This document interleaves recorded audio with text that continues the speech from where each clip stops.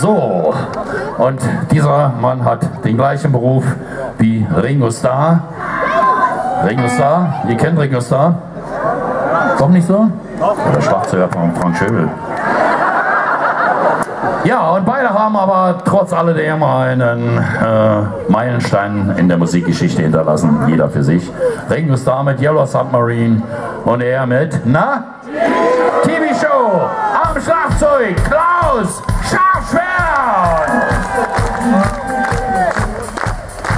Man kennt dich auch und besser wetten, aber du, du kennst und siehst mich leider nicht.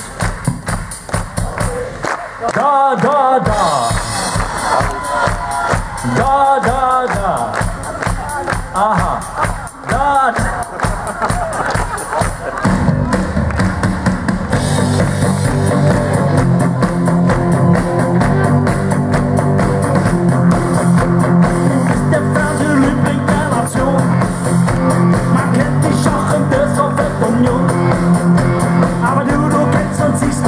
I miss you.